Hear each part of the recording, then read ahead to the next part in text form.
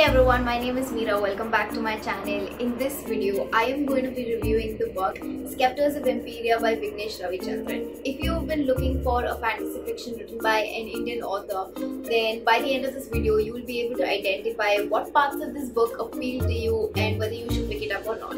Um, so this is a story of two worlds and how the fate of both of these worlds are tied to each other one day a group of thugs they plan a heist at this museum where um, ancient artifacts are being showcased and so they end up getting whisked away to the world of Empyrea. In this novel, we follow their story as they try to survive in this foreign land filled with strange creatures and beings. Let me tell you a bit about the plot execution. One of the things that I found really interesting about this book is that it's like a story within a story. So you read about Hannah and a group of archaeologists who stumble upon these scrolls written by an Egyptian king who then proceeds to tell you about how he encountered this world of Empyrea. And as you keep peeling away these layers of stories one after the other, you keep wondering where all of this is going. So this aspect of the novel where there is a story within a story was something that I really liked. Something that kept me glued to the book was the visual representation of the scenes and creatures. Throughout the pages of this book, you will find so many artworks that really help your imagination and you know add to the storytelling. This for example is one of my favorite parts of the novel. It is a fight sequence that is going on in an arena and all of it has been beautifully graphically represented for us to see for us to enjoy. So that is something I liked all of these different artworks throughout the pages. As much as I enjoyed the story and the different themes that this novel deals with the one thing that bothered me so much was the writing. And when I say the writing I really mean the editing. It hasn't been edited well. There were quite a lot of grammatical errors. I feel like if this book had been polished a bit more it would have made a world of difference in how I perceived it, in how much I enjoyed it. That was the one thing that really troubled me because I know that this story has potential. The author's writing style is very elaborate and descriptive. Every scene is written with such details that there's no scope that you will not understand what the author is trying to say. So I feel like if the book had been edited properly, it would have refined the whole story. It would have cut down on parts of the writing that were not really needed.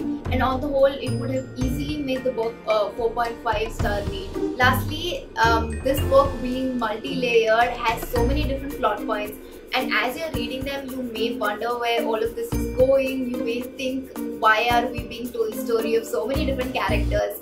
But believe me it all comes together in the end very well. The author is able to tie up these different plot points so seamlessly. That was something that I was pleasantly surprised by because as I was reading it, I kept wondering, oh, now who's this new character? What is this new storyline? Speaking of characters, there are so many characters in this book.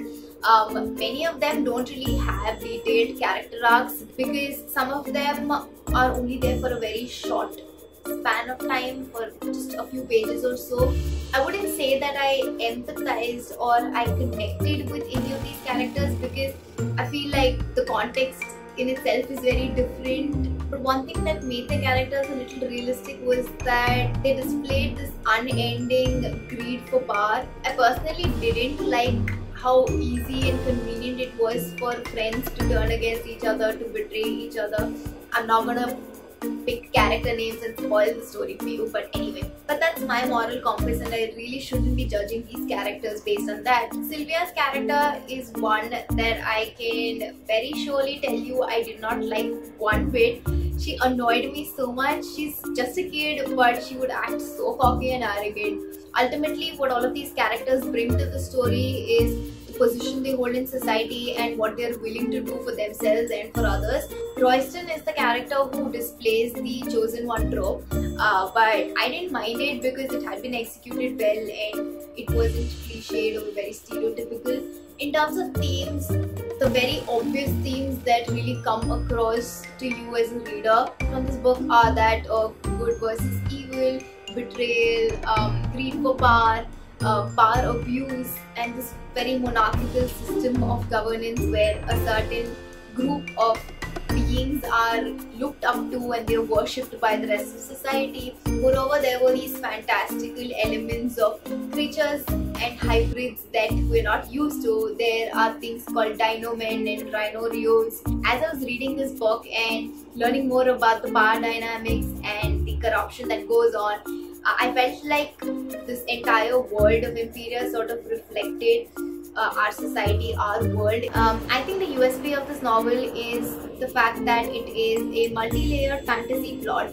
that combines not only our real world but also a fantasy world like that of Empyrea clubbed together with the visual representation and this sense of adventure that is constantly there in the book. I think it was a unique plot and I really wish that the writing, the editing had done justice to it I rated this book 3 out of 5 stars. This copy that has been provided to me by the author himself is the international edition. So if you were to buy this book, you would get the Indian edition of it. Let me know in the comments if you've read this book or if the fantasy genre is something that appeals to you. If you enjoy watching my videos, then please like, comment, share and subscribe. Click the bell icon so that you can stay notified every time I post a video. Thank you so much for watching. I will see you again with another video soon. Bye.